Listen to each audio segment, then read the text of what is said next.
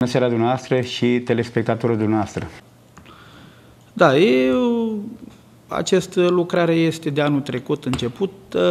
Un parc balnear care este, acest parc va cu un parc, cum să vă spun, pentru copii, jocuri, pentru unde să pot juca copiii, Uh, va fi un ten, uh, două sau trei mai dați-o dracului, mai tovarăș. Uh, un spac, uh, uh, cum să vă spun, va fi foarte, părerea mea va fi foarte frumos acest uh, parc balnear. Asta e tot? Am făcut niște pro promisiuni până să ies primar în campania electorală, fiindcă... Vai! Aceste cuvinte ne doare! Da, suntem la cea de-a 10-a ediție a zilele Serata Munteorului. Serata Munteorului.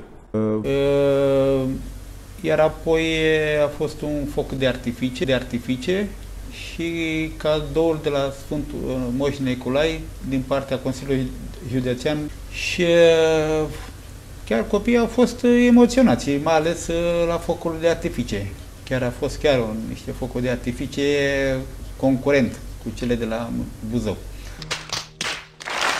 Sâmbătă va fi la orele 22, se va închide sâmbătă la ora 22, iar uh, duminică, după focul de artifice, focul de artifice, uh, uh...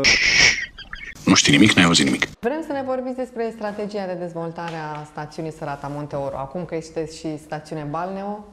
Nu vă pot spune lucruri, eu nu sunt viceprimar din mult timp. Uh, am doi ani. Și mai lucru nu știu ce aș putea să vă spun. Totuși sunteți de 2 ani viceprimar, cred că da. știți. Uh, uh, uh, un teren care se vede și ăla de uh, lângă sala de sport. Uh. Ai de capul și de zilele mele. Un teren de? Uh, un teren de de agrement. Un teren de agrement. Stil bază sportivă, stil uh, pentru bătrâni. Uh, au diferite uh, chestii din astea pentru mișcări, pentru... Aer curat, apă. Nu, acesta nu avem. pentru sărata Monteoru. Dumneavoastră vă place cum arată? Nu, tot... Uh,